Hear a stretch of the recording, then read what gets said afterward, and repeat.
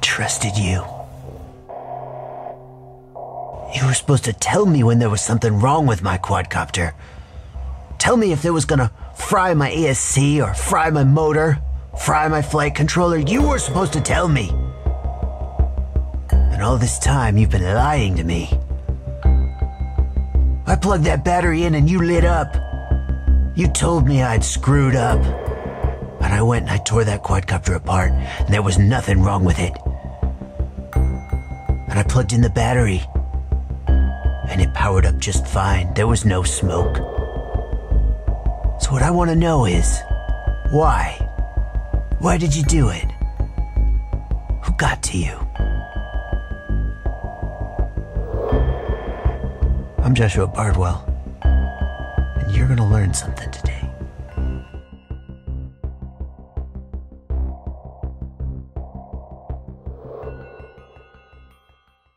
All three of the things on the bench in front of me today are smoke stoppers in some form or another. This one's made from a taillight bulb. This one's also made from a taillight bulb, but has a few other options, like the ability to use the high beam or the low beam, or 4S or 6S voltage. And this one is made from solid state components, electronic fuses, and has a few additional options, which we'll see in the course of this video. And what we're talking about in the video today is a common way that people misinterpret the information that the smoke stopper is giving them, making them think there's a problem in their quadcopter when there isn't.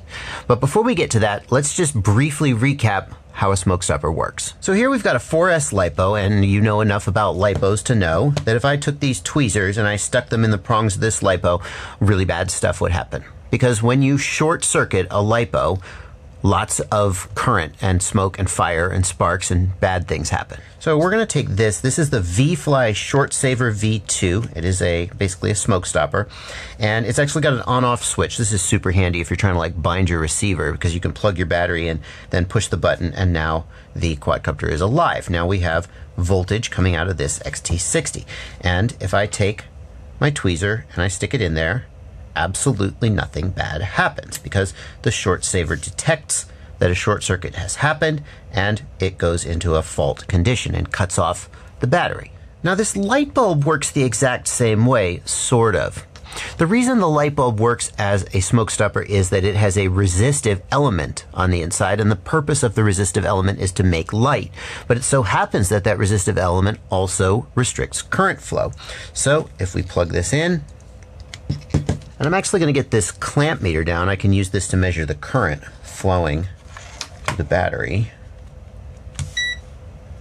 put that into DC mode and zero it out. And I'm going to short circuit these prongs. And you can see that the light bulb lights up and we have about 3 amps flowing.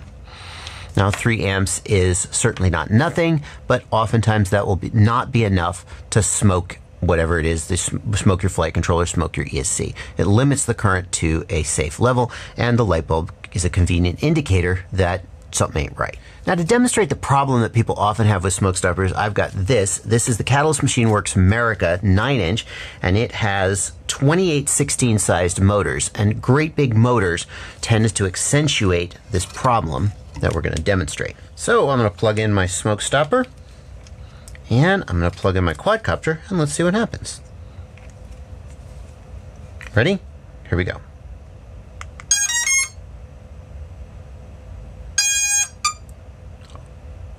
Oh, what happened? It tripped. The smoke stopper tripped. Is this quadcopter messed up? Is it short circuited? If we plug it in, is it going to light on fire? Nope.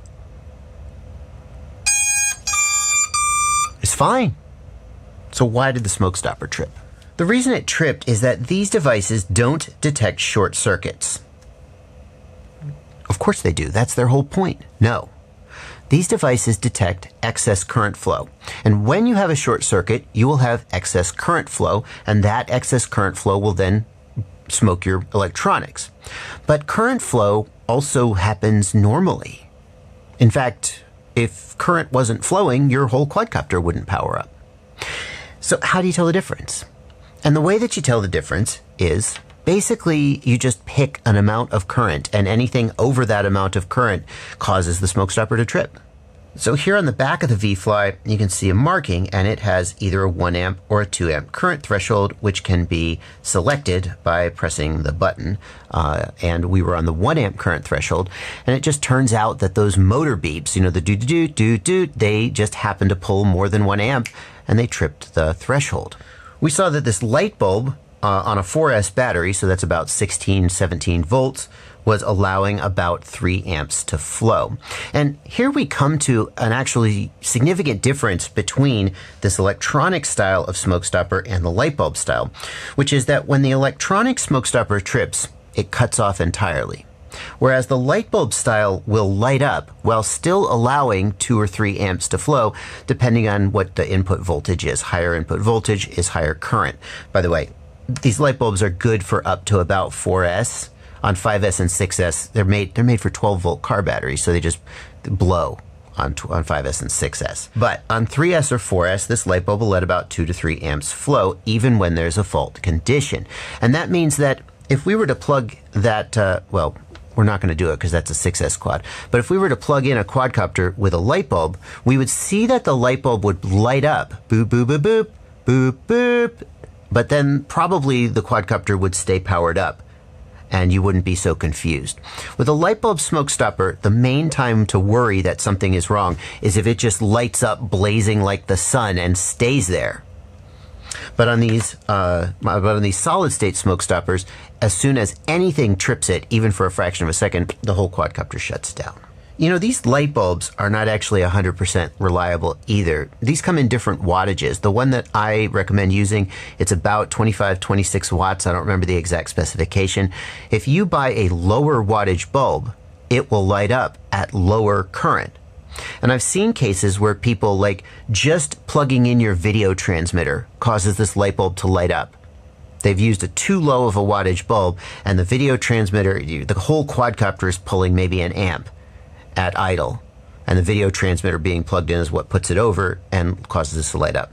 So even if you've got something that's lit up solid, it might not 100% mean there's a fault. The best thing to do would be to find a way to measure the actual current being pulled from the battery. And that would tell you whether you're in a fault condition. And also just buy the right wattage of bulb or just buy one of these. They're a little bit more versatile. So how do you know if it's safe to plug your quadcopter in or if when you plug it in, the smoke's going to come out. Well, if you plug it in and it goes do do do and then shuts off, chances are if it was going to smoke, it would have already smoked or tried to smoke before the ESC got to the do do do, right? If you plug it in uh, and it just immediately trips, that's pretty likely to be a fault condition. Although it could just be that very first motor beep is tripping it, so you still don't know 100%. A good test is to get your multimeter out and measure continuity between the two prongs of the XT60. And if continuity is there, then you have a fault. Continu there might be a small beep if you have a capacitor as the capacitor charges, but in general, you should not get continuity between the prongs of the XT60. There was a little beep just from the capacitor. But the multimeter is also not 100% reliable because there can be conditions where, like, if you've got bad firmware on an ESC, it may not smoke the motor until you raise the throttle. And so a multimeter test done just uh, with, a, with no battery plugged in would might not detect that. There are also some fault conditions that a smoke stopper simply cannot protect against. For example, if you have an ESC that is damaged in such a way that it's going to fry a motor as soon as you throttle up, a smoke stopper can't protect against that because the smoke stopper will always trip when you raise the throttle. Oh, oh yeah, good point. I've had people email me and say, hey, uh, something's wrong with my quad. Yeah, it plugs in just fine, it starts up just fine, but then when I go to fly, it shuts down the smoke stopper is stopping the current flow from the battery, but the motors can't spin if there's no current flow. You can't fly with a smoke stopper installed. It's always going to trip when you raise the throttle. So if you've got a situation where the ESC is going to smoke the motor as soon as you raise the throttle, you're just going to smoke the motor. You're not going to protect against that. The takeaway from this is as follows. Smoke stoppers aren't perfect, but they can protect you against some fault conditions, and that means they're very, very worth having. Um, just be aware that the smoke stopper is telling you that current is flowing, and then know how to recognize whether that is a fault condition, like a short circuit or a bad ESC, or whether that's just normal current flow. Oh, and by the way, if you want to build this exact box with the switches and everything, I got a tutorial for how to do it. I designed this box in a, in a 3D uh, CAD design program. I 3D printed it and then I built it all up. I've got a tutorial for how I did, including the STL files if you want to print the exact box. Uh, link in the video description below. Also, link in the video description to this little guy. This is really good. I wouldn't I wouldn't be without it. Thanks for watching. Happy flying. What are you doing in here? The least you could do is subscribe or join my Patreon or like just here's another video I picked out for you. Jeez.